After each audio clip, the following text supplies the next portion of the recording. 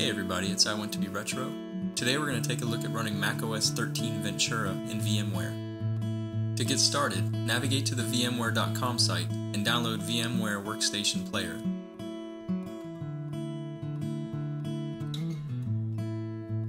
Next, we'll need to download the VMware Unlocker utility from GitHub.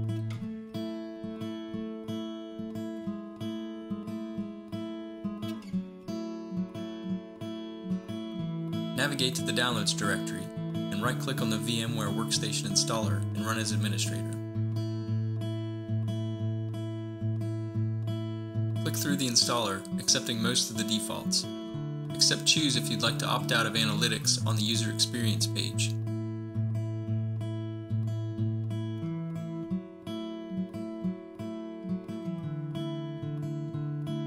With VMware Workstation Player now installed, Extract the downloaded Unlocker zip file.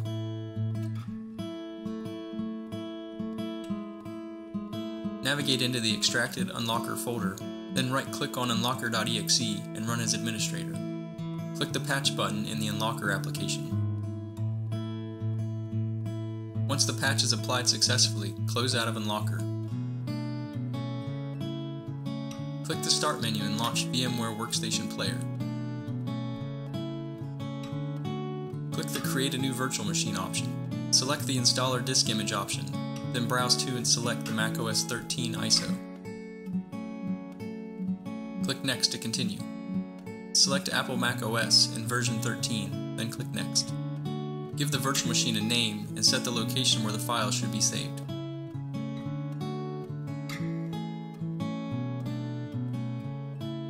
Set the disk size to at least 40 gigabytes, then click Next and Finish to create the VM. Open File Explorer and navigate to the location where the VM files are stored. Edit the .vmx file in a text editor.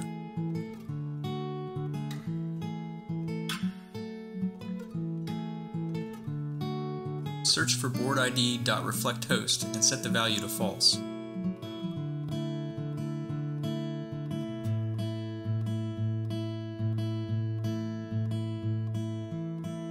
Search for Ethernet 0.virtualdev and set the value to VMXNet 3.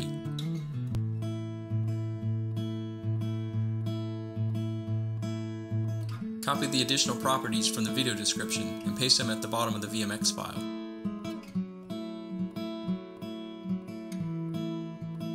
Save the changes to the file and close it. Navigate back to the VMware Workstation Player and launch the macOS 13 VM. Wait a few moments for macOS recovery to initialize.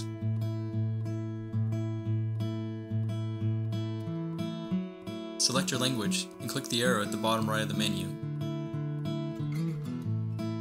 Double-click on Disk Utility. Select the VMware Virtual SATA hard drive, then click on Erase. Name the device macOS and click Erase. After the device has been initialized, click Done and close the disk utility. Now double click the Install macOS option. Click Continue, then click Agree and Agree again. Finally, select the macOS disk and click Continue.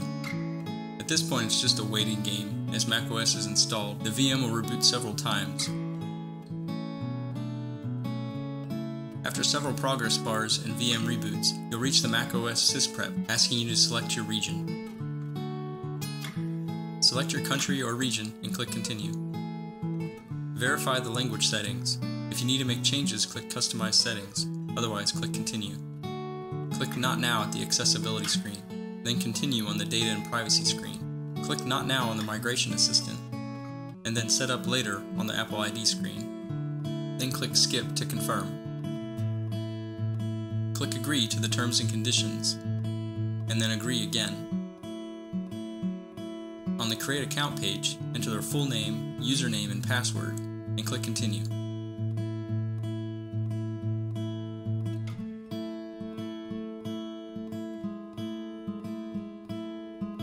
Click Continue on the Enable Location Services page, then click Don't Use to confirm. Click your location on the map to select your time zone, then click Continue. Choose if you'd like to share macOS Analytics, then click Continue. Then click Setup Later for screen time. Select if you'd like to use the light or dark theme and click Continue. Once the desktop fully appears, right-click on the installation media and select Eject.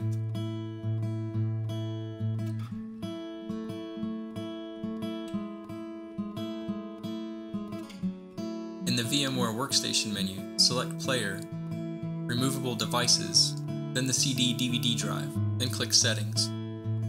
Click the Browse button and navigate to the extracted unlocker download from earlier. Inside the Tools subfolder, select darwin.iso. Make sure to check the connected box at the top of the settings dialog, then click OK. Double-click Install VMware Tools. Click through the installer until you get a security prompt. Enter the user's password to confirm the installation. Click OK to continue, then click Open Security Preferences. Select Privacy and Security from the left navigation, then scroll to the bottom of the options to find VMware Inc. and click Allow. Enter the user's password again to confirm. Then click Restart for the changes to take effect. The installation in the background should fail, and you'll need to click Quit.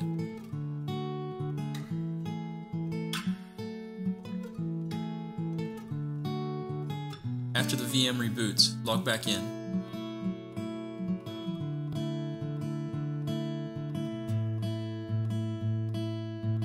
Double-click on Install VMware Tools again. Click through the installer, authenticating when prompted.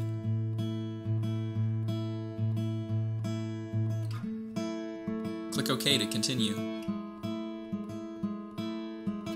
Once the installation completes successfully, click Restart.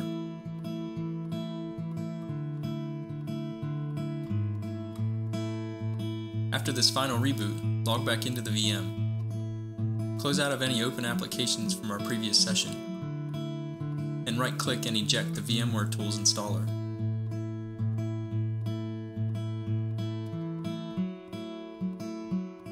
Welcome to macOS 13 Ventura, running inside VMware.